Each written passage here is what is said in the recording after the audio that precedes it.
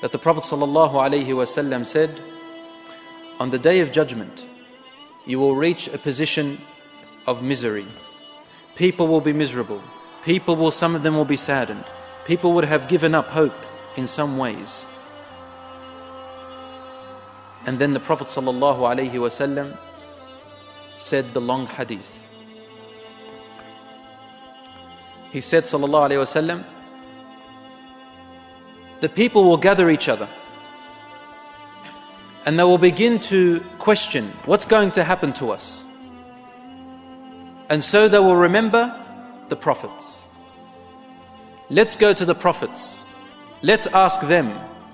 Let's come to them and ask them to intercede for us so that Allah subhanahu wa ta'ala can begin the judgment, the hisab, the accountability.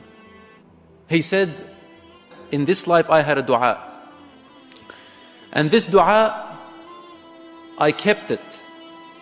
Whereas every other prophet was given their dua which they asked for. As for my dua, which I kept specific for me, was that, Oh Allah, save my ummah on the day of judgment. And Allah subhanahu wa ta'ala says in the Quran, Behold, your Lord may raise you a beautiful raising on the day of judgment. What is that? It is the raising of the intercession. And this is the way it will go. He said, The people will go to Adam alayhi salam. And they will say to him, Ya Adam, Anta Abu al-Bashar. You are the father of all mankind. You are our father. Allah created you with His hands. Please intercede for us on this day. And then Adam alayhi salam will say, Ilaykum anni, ilaykum anni. Go away from me. Please go away from me. I fear the same thing you are fearing. I disobeyed my Lord once. Today my Lord is in a state of anger which he has never been angry like this before. Go to the one who is after me. So we go to Nuh alayhi salam. And we say, Ya Nuh, Allah subhanahu wa ta'ala created you. You are the second father of mankind. Intercede for us for Allah subhanahu wa ta'ala to begin the judgment. And then Nuh alayhi salam will say the same thing. Ilaykum anni, ilaykum anni. Go away from me, go away from me. I fear the same thing you are fearing. I made my dua upon my people. My Lord is angry in a state where he has never been angry like this before. Go to the one after me. Go to the one after me. So then we go to the next prophets till we reach Ibrahim alayhi salam. And Ibrahim alayhi salam on that day would also respond in the same way. And he will say, Ilaykum anni, ilaykum anni. Please, turn away from me, turn away from me. My Lord is in a state of anger which has never been angry like this before. Go, I am not qualified for it. Lastu laha. Go to the one after me. We keep going from prophet to prophet. This is all the Muslims and all the disbelievers, everyone. So then we go finally to Musa alayhi salam. And Musa alayhi salam responds in the same way. He said, then we go to Isa alayhi salam. And Jesus Christ, peace be upon him, responds in the same way. And he adds, The people took me as a God. Therefore, today I am not qualified to face my Lord. How am I supposed to face him? I've got to answer to this. I've got something I have to answer to. The people took me as a God. Go to the one after me. I am not qualified for it. Lastu laha. Finally, we reached Muhammad. He said, this is what I have been favored with on that day. That I will be given an intercession for you people. And the only intercession I will be given for is for my ummah, for only for my nation who followed me. As for the rest of the nations, they will have to go behind their prophets, behind their imams. And everyone else who was disbeliever will go behind whoever they used to follow. So whoever their authority was, the angels will say, go to whoever you used to follow. Rasul says, when the people come to me and they say, please, ishfa' lana, intercede for us for the judgment to begin, I will call out on that day and say, Ana laha, ana laha. I am the one qualified for this. I am the one qualified for this today. And at that moment, the greatness of your Prophet Muhammad sallallahu alayhi wasallam will appear. The greatness of Muhammad sallallahu alayhi wasallam that Allah bestowed on him will appear. The status of Muhammad sallallahu alayhi wasallam, your Prophet While everyone is resorting to prophets and messengers, asking them to ask Allah to make things easy on them, and every prophet and messenger says, Myself, myself. Now they'll go to the Prophet ﷺ and the Prophet ﷺ will say yes, and the Prophet ﷺ will go under the throne of Allah and prostrate to Allah. I, I, I prostrate to my Lord such a prostration, so prolonged. only Allah knows how long, masha Allah, and asjud, as long as Allah wills for me to make sujood. And I call out to Allah in such a dua that I've never called out before in my life. I've never used these words in praising Him and calling out to Him in my sujood. And then my ummah who followed me in my sunnah and never violated my sunnah and never innovated my sunnah in my sunnah, never changed, tried their best to follow me sincerely, they will prostrate behind me. A caller will call out, prostrate down to your Lord. Allah says in the Quran, on that day, a saq will be revealed. What is this saq? What is the true nature of this saq? Allah only knows. The book of Muslim, the Prophet says, My Lord reveals his saq. Only Allah knows the nature of this saq. لَيْسَ كَمِثْلِهِ شَيْءٍ وَهُوَ السَّمِيعُ الْعَلِيمُ الْبَصِير There is nothing like unto Him, and He hears all things and sees all things.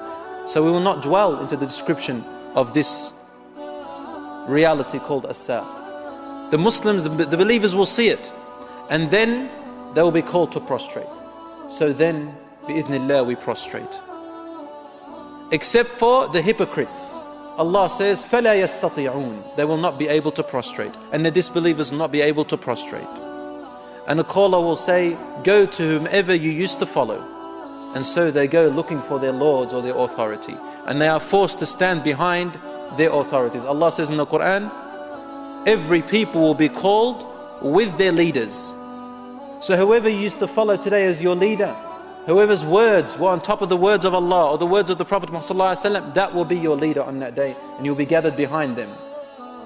As for the Prophet ﷺ and his ummah who are still prostrating,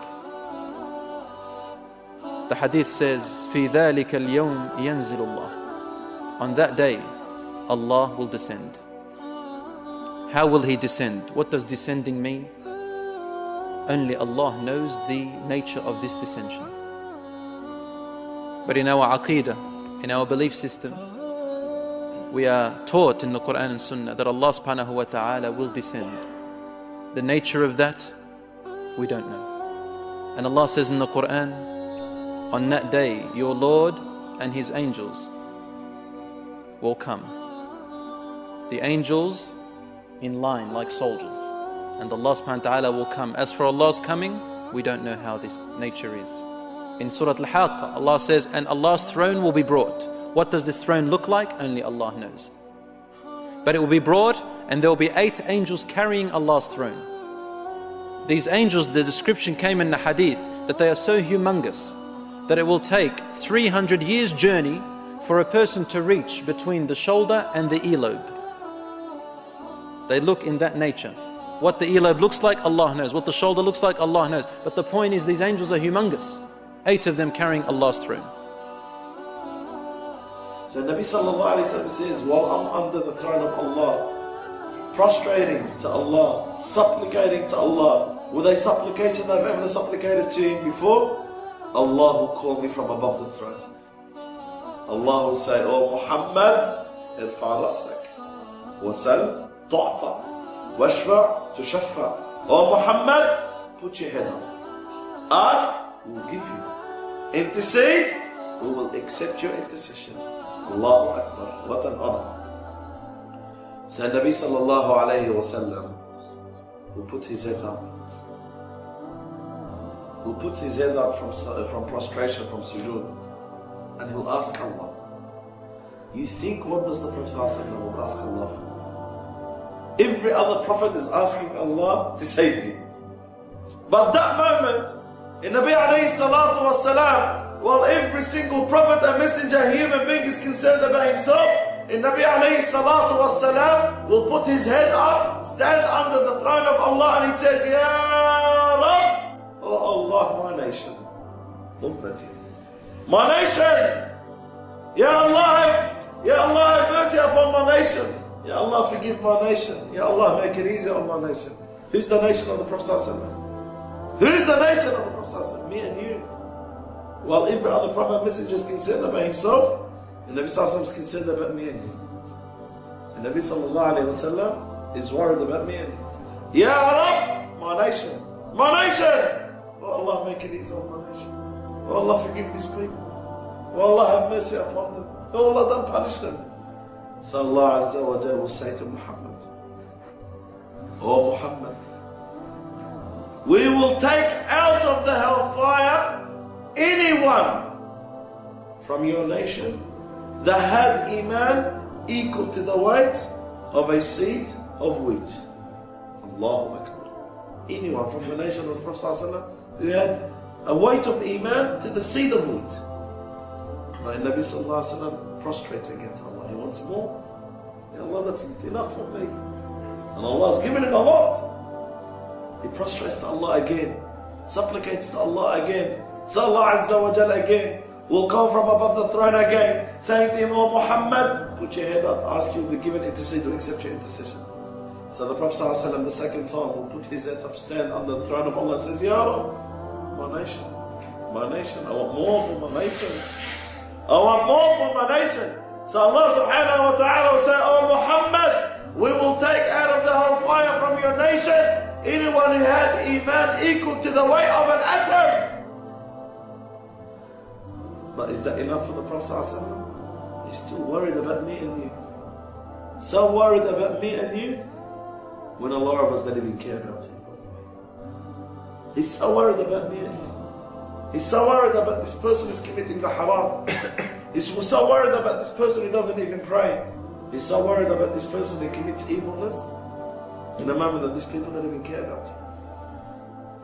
And the third time in Nabi sallallahu alayhi wasallam will prostrate under the throne of Allah, supplicating to Allah, Ya Rab, I want more, I want more, I want more. It's not enough. It's not enough that you take out of the hellfire anyone from my nation that had an iman equal to an atom or equal to a seed of wheat. I want more, more, Ya Rab, for my nation. So Allah calls the Prophet ﷺ the third time and final time. Oh Muhammad, put your head up, ask you'll be given, intercede or accept your intercession. So the Prophet ﷺ will continue calling upon Allah and say, Ya my nation, my nation, Ummati, Ummati, my nation, Ya Allah, my nation, Ya Allah. So Allah Azza wa Jalla will say to Muhammad, Oh Muhammad, we will take out of the hellfire from your nation anyone that ever said La ilaha illallah. Allahu Akbar. Allahu Akbar. This is for who? For Muhammad sallallahu alayhi wa This is for who? For Muhammad sallallahu alayhi wa Let me see let me see those thugs and gangsters that some of our Muslim youth follow. Let me see what they're going to do for you in the hereafter. Let me see what they're going to do for you Let us see those that we look up to and we act like and we look like and we speak like what they're going to do for you in the hereafter. Because that's what Muhammad will do for you in the hereafter. My brothers in Islam, the day of judgment is not a joke. The day of judgment is not a fiction story. The day of judgment, it's not something that was made up. The day of judgment is the day that Allah subhanahu wa ta'ala speaks about in the Quran. Malik yawmuddin. Allah is the owner of the day of reckoning. It is that day that we're all going to be there. And we're all going to stand before Allah Azza wa Jalla.